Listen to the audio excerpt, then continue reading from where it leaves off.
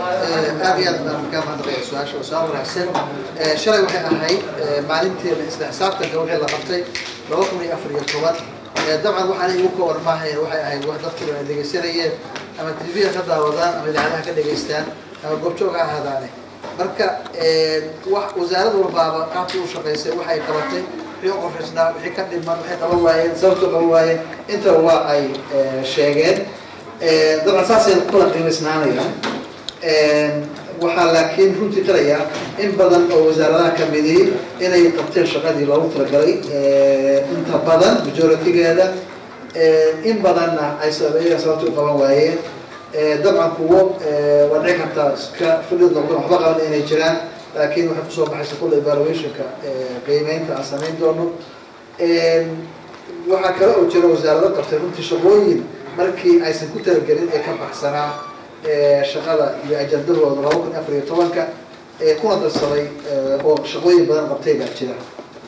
kuwaasna waa ku ammaanan yihiin shaqada dheerarka ay qabteen. Marka waxay waa iskabayaan hadday shaqadii loo aymaankeedi waxa ay sheegteen laba kun iyo afar iyo toban aysan wax ka qaban waxyaabaha qaarkood. Laakiin shaqooyin dheeraada ay qabteen laftigooda waxay leedahay tixgelinteeda. Marka anagu ujeedada aan ka lahayn barnaamijka waxaa weeye dabcan anagu wasaaradahayga waa kala aqaana waa la socdaa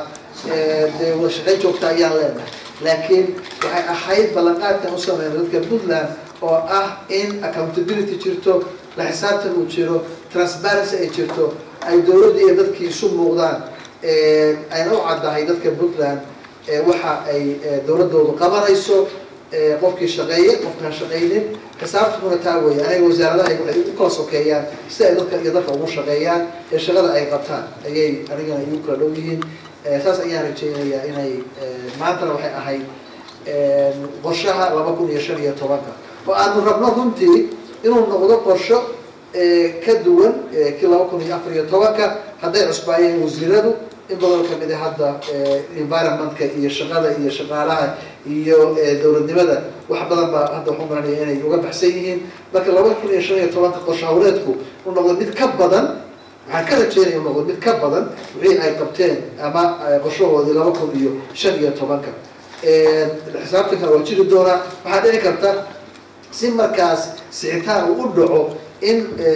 barnaamij u soo noqo sanadka dhamaadkiisa haddaan qabanay laakiin lix bilood markii la qabtaba barnaamij noocaan oo kale aan samayno oo lixdaa bilood wixii ay qabteen wixii qabsoomi waayey si aan cabir uga qaadano waxa ay qaban karaan lixda bilood oo dambe ee soo socota. Marka maantana de barnaamijka waad dhegaysanayseen wasaarar badan waa hadleen kuwo kalena waa ay mudane madaxweyne su'aashan kuweydiinaya waxay tahay muddo sanadaa hadda kugu birsanaysa dadka puntlandna barnaamijka dimuqraadiyiinta aada u dhowrayeen goorma laga yaaba marka guddiga doorashooyinka inaad magacooda guddiga waan waa la socotaa waxaan ansixinay shuruucda sharcigii. Waa la baasgareeyey golaha wasiirada waa maray. Golaha shacabkana iyo baarlamaankana way ansixiyeen sida ugu dhaqsiyaha badan ayaan guddiga u soo magacaabaynaa waana dhegeysanaysa wasaaradda arrintan ku shaqada leh barnaamijkeeda laba kun iyo shan iyo tobanka waxa ugu qorshaysan. Waxaan rajeynaynaa in aanu dhawaan magacaawno wakti aan dheerayn bishan january gudaheeda haddii la yihahdo ayaan rajeynaynaa inaan si deg deg u magacaawno si guddigaas hawshiisa u bilaabo. Waana waxaana laku qiimeynayo waana ajadayaasha ugu muhiimsan dowladda. Madaxweyne maxamed siciid somaali channel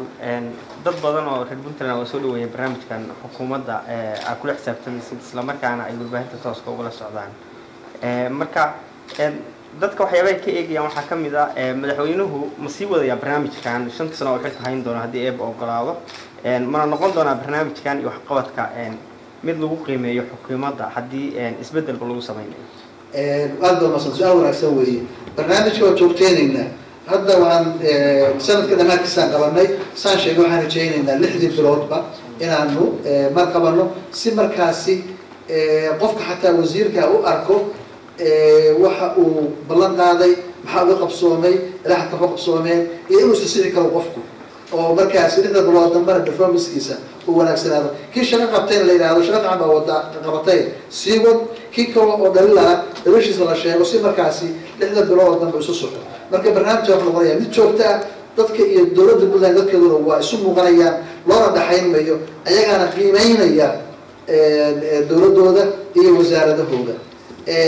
qiimeyn kale anigu aan leeyahay ma jiro waa idiin sheegayo waxa weeye dadku waxay u kala sokeeyaan si ay dadka bulshada ugu adeegaan iyo qof walbaba shaqadu qabto ayuu aniga igu samaysan yahay taasi aniga waxay taraysaa taasi anigana magac iyo iyo wanaag ii noqon doonta